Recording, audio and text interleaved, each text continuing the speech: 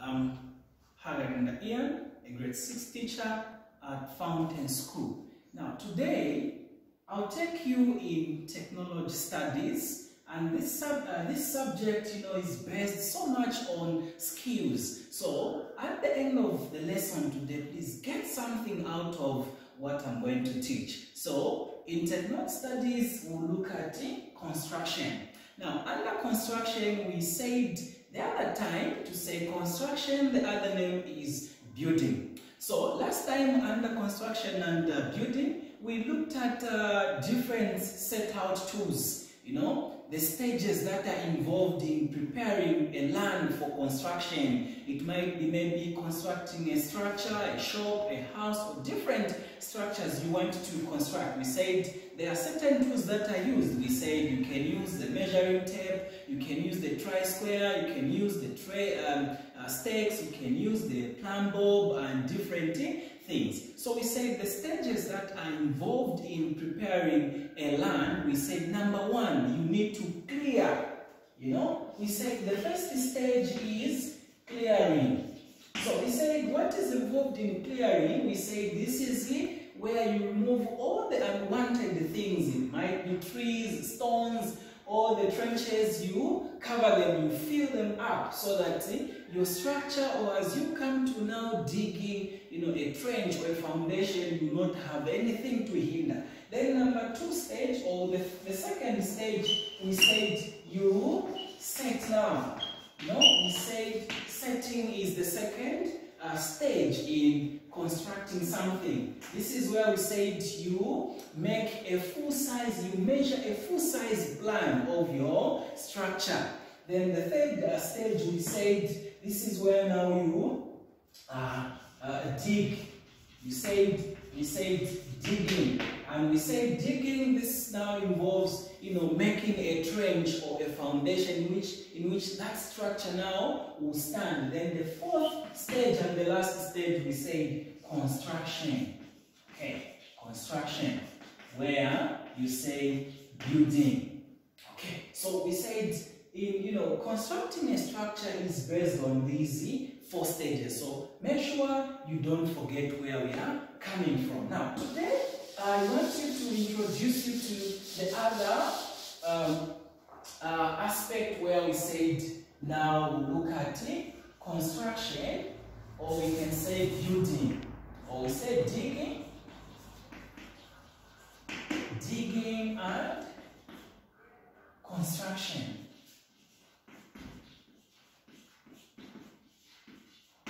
building and construction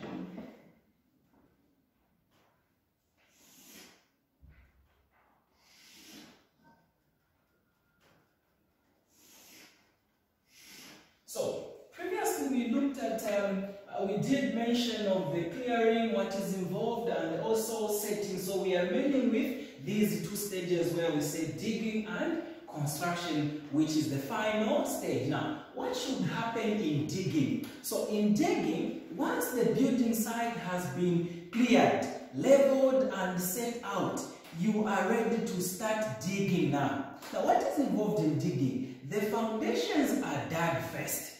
So once you're done with all the two stages, the next stage is now you dig now a trench or a foundation. So now, the type of foundation depends on the type of soil or rock on the site. In sand soil, you need to deepen the foundation. So in sandstones, in sand soils, you need to make your foundation a little bit deep so that your structure will be strong and firm. Then, in, in hard stony soils, you need to shallow your foundations. So we are looking about two types or three types of sand where you need to, you know, dig a foundation. Let's say in sand soil, you need to make your foundation a little bit deep. Then in stony or maybe um, hard soil, you need to make your foundation a little bit shallow. You need shallow foundation. Now, when foundations have been dug, what should be next? The trenches are filled with concrete. So once you are done selecting and you know you are done digging the foundations, depending on the type of soil that you have, that foundation now is filled with concrete. I want you to mark this way. Your foundation should be filled with concrete. Concrete, is it an animal or a human being? What is concrete? Concrete is the mixture of these materials. Number one, so we are saying is the mixture. Concrete is the mixture of the following materials. Number one, sand. Okay. Number two, cement. Number three, water. Then the other one we can say maybe stones. You can say and stones. So if you are asked to say define concrete, what do you understand by the term concrete? Concrete is the mixture of sand, cement, water and stones. Now, walls are built on top of the foundations. So once that foundation of yours has been filled with this concrete, what should come next? The walls now of your structure or your building will be built on top of the foundations where there's the concrete. Uh, most walls are built using bricks. Okay? You remember last time when we looked at different materials or materials that are used in construction, we looked at it, bricks, blocks, and different materials. Others, they build their structures using grass, others iron sheets, and different materials. Now, today we are saying walls sometimes, in most cases, are built with or are built um, using bricks or blocks. That will be the area of our focus today. Now, bricks are made of clay, cement or a mixture of cement. Sometimes these bricks, we say sometimes bricks are made out of clay and we looked at the processes that are used to make, you know, clay bricks, you know, the processes that are involved for you to have the actual bricks that you want to use on the building. So we said these things are built or walls are built using bricks. Now, bricks are held together. As you are building, in between the bricks, what should be there? What should be there is called mortar. This word, mortar, is the thing or material that is, you know, used to hold bricks in the middle so that you have a nice structure. So you, are, you can be asked to say what holds together the bricks. You say mortar this way. Now, construction is the process now. Once you are done all those things, you want now to start constructing. Of course, of these things are in place. You say construction is the process of making a structure. You may be asked to say define construction. So we are saying construction is the process. Construction is the process the process of making making a structure a structure using different different materials. Different materials. That's the definition. Now Today I want us to focus much on the bricks. To focus much on the bricks. I have a sample with me. This is a type of a brick. Okay? What type of a brick is this one? Very good. So we said this type of a brick is called a clay brick. It is made out of clay. Okay? And it, you know, it had gone through processes, different processes for it to be ready. So this brick now, we are going to look at its parts. Regardless of the way it is looking, you know, it is appearing in our eyes. Sometimes people may say it is dirty, but it has parts. Now, before we go to the parts of this brick, I want us to look at different types of the bricks. Different types of bricks. We say types of bricks. types of bricks. Number one, we have um, bent bricks.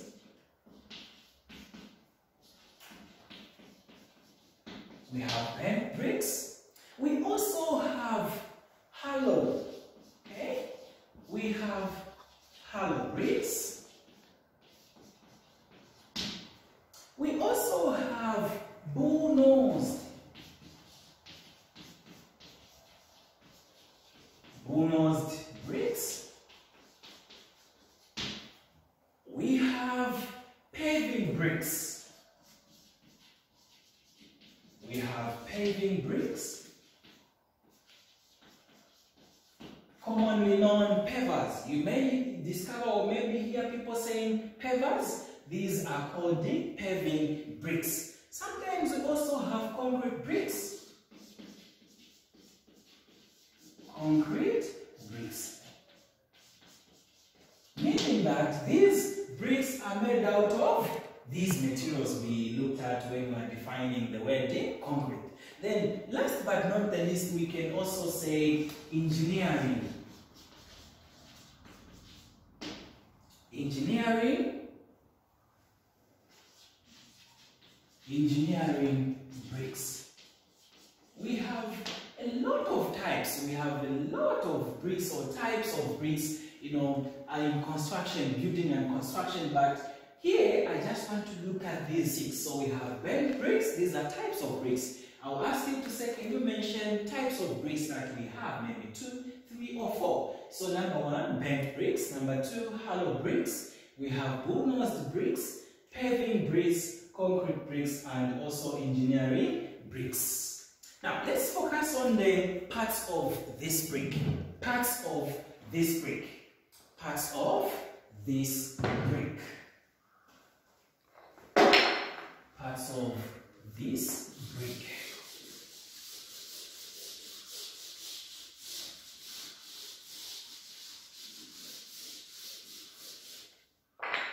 Alright.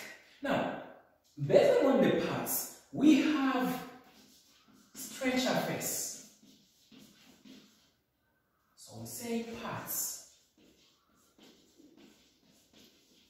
A brick. So we have, so we say A. We write first the words or the names of these parts, then we come and identify it on the solid one. So we have stretcher face as the first part of a brick. Number two, we have header face. B, we have header face. Number three, we have bed. So C, we say bed. Okay, then D, we have we have frog. Then E, we have arris. arris or it is sometimes called edge. Then the last one is called. A margin. So I want you to have these parts of a brick so that next time if I just bring the drawing of this type of a brick, you'll be able to identify its parts. So number one, we'll say this part, okay? What do we call this part? This part is called a stretcher face. Together. I'm holding a brick like this. I'm identifying this part. What do we call this part?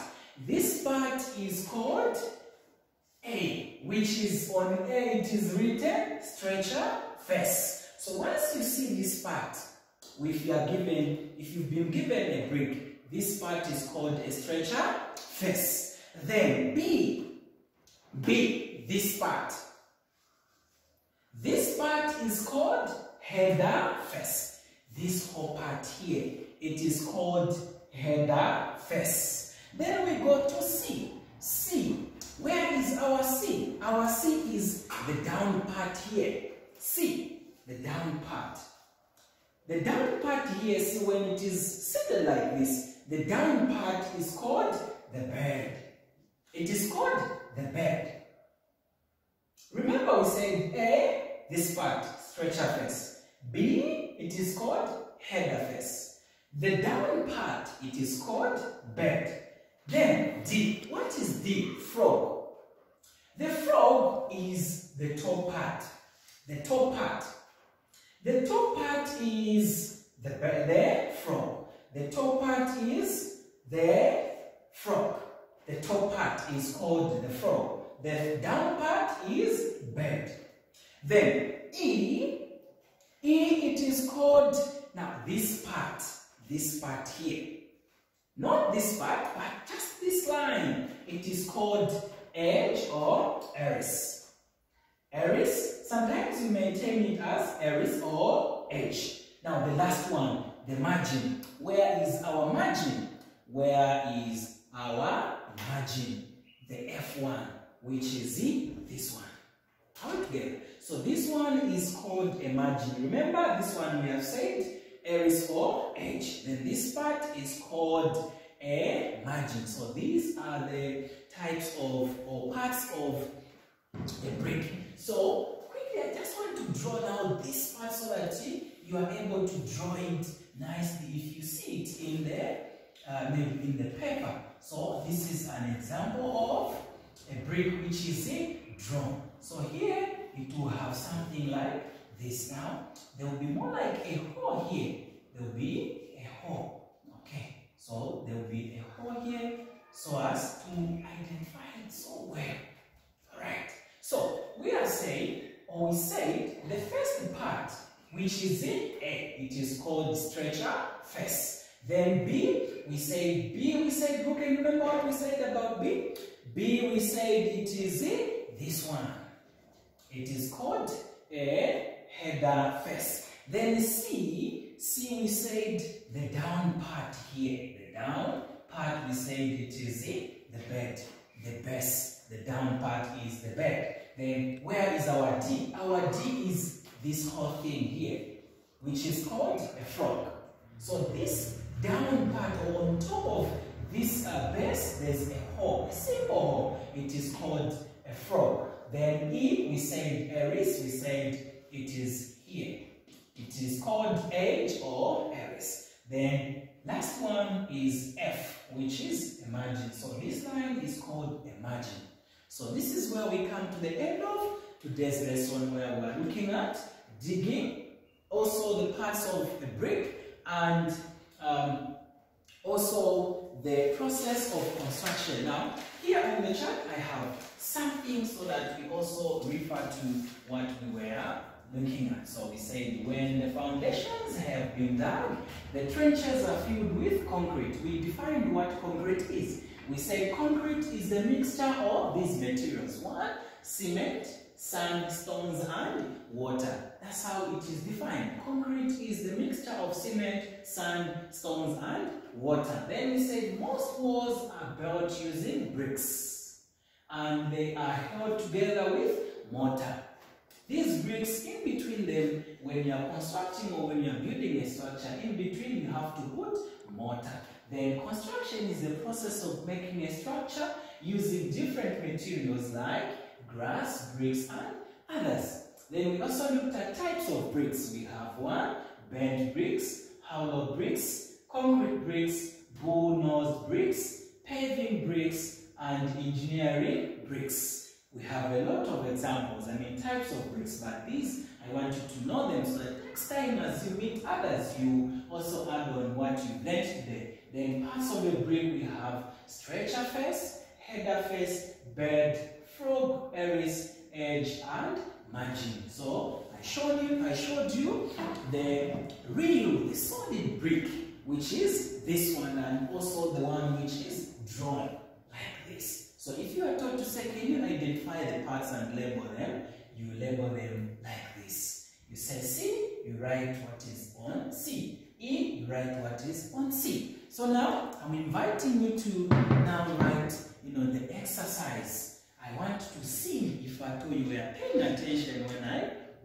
teaching. So you can get your book, your pen, and your pencil with the ruler so that you underline your work so well. So I'll write the example, I mean the questions on the board and then I want you to copy them in your book. So here are the questions. So number one, mention any three types of bricks. Mention any three types of bricks. Number two, or question two, define the following. Concrete. You need to define the word concrete. What is it? Number two, or B, you say construction. What do you understand by the term construction? You need to define construction. Then number three, when constructing, bricks are held together with dash. What is put in between the bricks as you are constructing? Then number four, draw and label the parts of a brick below. So this is an example of a brick. I've put the Roman numerals. So I want you to remember the words, these parts. When you see this part, what does it, you know, it tells? You need to write the names of these parts on this type of a brick. So today, or this is where we end our lesson in technology studies, where we're looking at construction, specifically digging and construction. So we've talked a good number, we've talked about a good number of things. So you have been with me, Teacher Ian, a grade six, a grade six teacher at Fountain in Kasama. Until next time, bye bye.